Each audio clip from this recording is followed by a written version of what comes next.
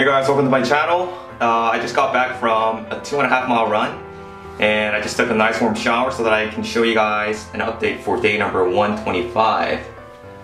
Uh, before I get started, um, you know, one of the most important things you guys want to do that I didn't really mention is to exercise and you know, exercising will allow the blood to flow more in the scalp and it's going to provide more nutrients into the scalp and the blood vessels so it can even help speed up the, the hair growth after your hair transplant.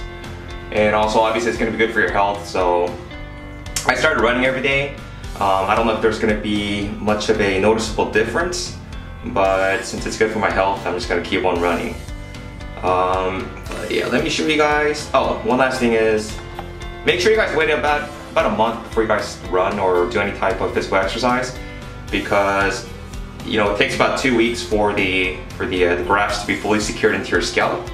And so you don't want to run into the risk of getting any infections or having any of the grafts pop out. So make sure you wait about a, about a month before you uh, resume any uh, physical exercise. But without further ado, let me show you guys how this hair is looking at day 125. Now, I'm a little over my uh, four month mark, so I'm about 33% from the final results of my hair transplant. Well, let me show you how everything looks. Okay, so this is the, the left temporal region. Now this is this was the area where uh, the growth was a little bit slower compared to the other side.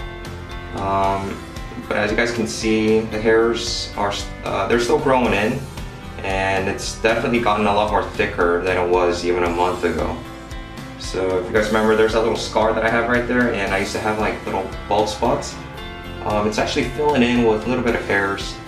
Um, I, I, I still need to wait a little bit to see more growth, but the frontal hairline, there's a lot of hairs growing, a lot more than, than before. And this side here, this is where a lot of the hairs are growing. So this side, uh, I'm not having any issues. It's just the left side here, but I just gotta be a little patient and then see if there's to be more growth. But like I said, uh, you know, around your three to four month mark, you guys are to start seeing your hairs to start growing in. And if you don't see anything growing, you know, don't panic.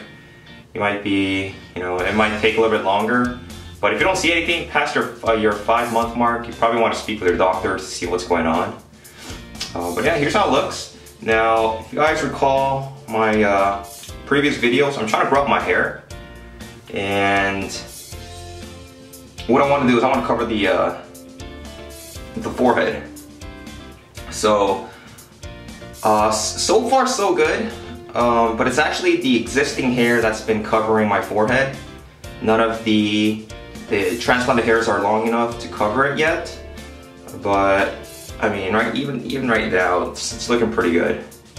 And the thing is, if you guys go to South Korea like I did to get your uh, your hair transplant done, a lot of the guys there, um, the the hairstyles that they that they do is they usually put down their hair to cover their forehead. And so one of one of the common questions that a lot of guys in Korea that end up getting hair transplants that ask their doctors is if they're going to be able to cover their foreheads with their uh, existing hair.